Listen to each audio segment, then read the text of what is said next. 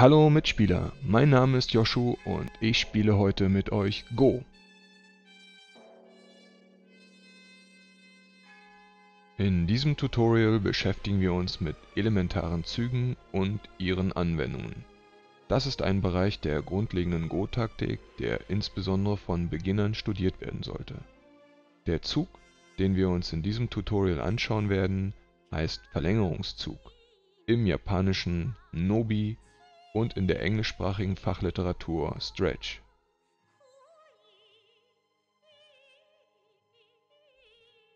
Einen Nobi spielen wir immer dann, wenn wir an einen Stein oder an mehrere Steine unserer Farbe einen weiteren Stein so anlegen, dass sich die Form einer fest verbundenen Linie bildet.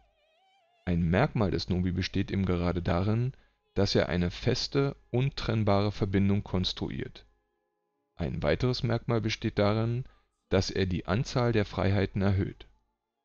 Auf der Grafik könnt ihr sehen, dass der erste Stein vier Freiheiten besitzt und nun durch den Nobi zwei weitere Freiheiten dazukommen.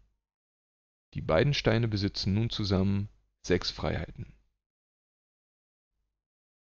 Ein Merkmal, das manchmal nachteilhaft sein kann, besteht darin, dass der Nobi sehr langsam ist einen Nobi zu spielen, ist keine raumgreifende Art, die eigenen Steine zu entwickeln, aber manchmal ist es notwendig. Ich habe zwei Beispiele herausgesucht, die zeigen, wo ein Nobi sinnvoll eingesetzt werden kann. Ihr seht hier eine Situation, die das Geschehen in der rechten unteren Ecke auf einem 19er Go-Brett zeigt. Wir betrachten zwar nur die lokale Lage, brauchen aber trotzdem einige allgemeingültige strategische Gedanken nicht völlig auszublenden das betrifft beispielsweise die Frage, wie wir mit einer Situation umgehen, in der droht, von unserem Gegner in der Ecke eingeschlossen zu werden. Manchmal lässt sich das nicht vermeiden, aber in solchen Fällen ist stets besondere Vorsicht geboten, denn eingeschlossene Gruppen sterben schnell, wenn man nicht aufpasst. Schwarz ist am Zug. Nehmt euch einen Augenblick Zeit und denkt darüber nach, wo der stärkste Zug liegen könnte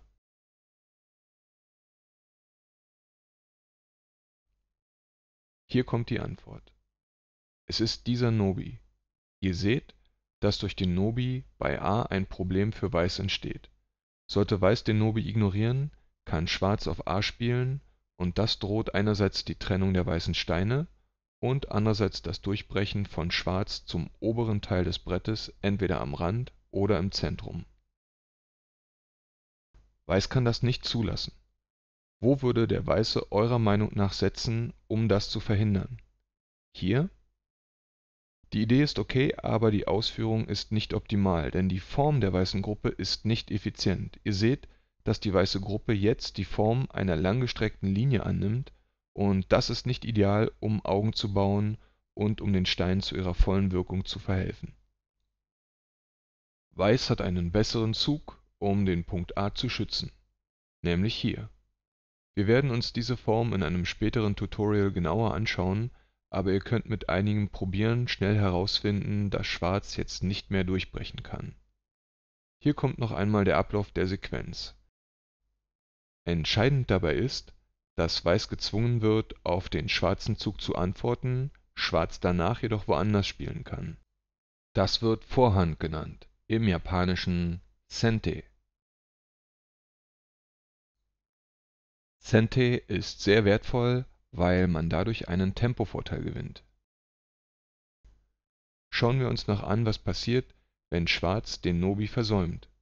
Sollte Weiß hier zuerst spielen, dann ist dieser Zug vorteilhaft für ihn, weil er erstens verhindert, dass Schwarz ausbrechen kann und weil er zweitens droht, im nächsten Zug auf A zu setzen. Im späteren Endspiel könnte die schwarze Ecke dann ziemlich klein werden und Schwarz müsste sich vielleicht darüber Sorgen machen, ob er es schafft, zwei Augen zu bauen. All diesen Schwierigkeiten kann Schwarz mit dem Nobi vorbeugen. Schauen wir uns noch ein zweites Beispiel an. Auch hier sehen wir wieder die rechte untere Ecke eines 19er Bretts. In diesem Fall besteht ein strategischer Gedanke darin, dass es meist sinnvoll ist, sich vom Gegner nicht in einer Ecke einkesseln zu lassen und die zur Umsetzung dieses Gedankens hilfreiche Taktik heißt wiederum Nobi. Seht ihr den Zug, um den es hier geht? Hier ist er. Dieser Zug gewährleistet, dass Schwarz mit seinen Steinen aus der Ecke herauskommt und nicht darin eingeschlossen wird. Wie wird Weiß jetzt reagieren? Weiß spielt hier hinter den schwarzen Steinen auf der zweiten Linie, denn er sieht, dass Schwarz nicht auf A spielen kann, um ihn abzutrennen. Sollte Schwarz auf A spielen, kann Weiß seine Steine auf B verbinden und hat mehr Freiheiten als die schwarzen Steine.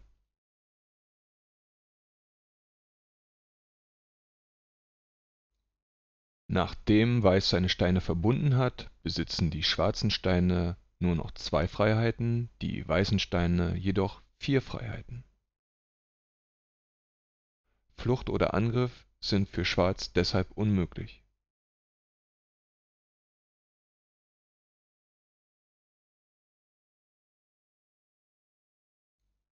Aus diesem Grund spielt Schwarz zwischen den beiden weißen Steinen und setzt damit den oberen weißen Stein ins Atari. Weiß gibt nun seinerseits Atari und zwingt Schwarz, den weißen Stein oben rauszunehmen. Wir sehen nun am Ende dieser Sequenz, dass es Weiß zwar gelungen ist, in die Ecke einzudringen und ein paar Punkte zu machen, aber Schwarz hat den größeren Vorteil durch den Nobi errungen. Er konnte nach oben durchbrechen und hat außerdem eine gute Augenform kann also nicht sehr effizient angegriffen werden. Was passiert, wenn Schwarz diesen Zug verpasst und stattdessen sofort Atari spielt? In diesem Fall erhält Weiß die Gelegenheit, einen Gegen-Atari zu spielen. Schwarz muss den weißen Stein nun rausnehmen, wenn er seinen eigenen Stein, der im Atari steht, nicht verlieren will. Und damit hat Weiß einen erheblichen Vorteil erlangt, denn es ist ihm gelungen die schwarze Gruppe in der Ecke zu isolieren.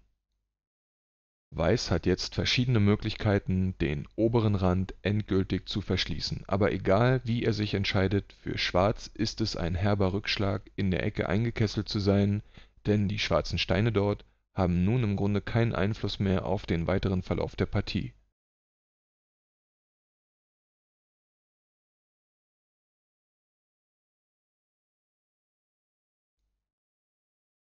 Natürlich gibt es viele weitere Anwendungen für den Nobi. Ich empfehle euch, mit dieser Zugtechnik zu experimentieren und zu schauen, worin die Stärken und die Schwächen des Nobi liegen.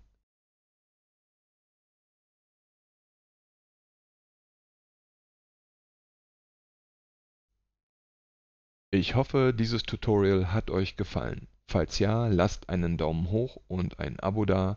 Falls ihr Fragen oder Anmerkungen habt, schreibt in den Kommentarbereich ich würde mich freuen, wenn wir uns im nächsten Teil wiedersehen. Da wird es dann um einen weiteren elementaren Zug gehen, nämlich um den Diagonalzug (Koizumi). Bis dahin, macht's gut, bye bye.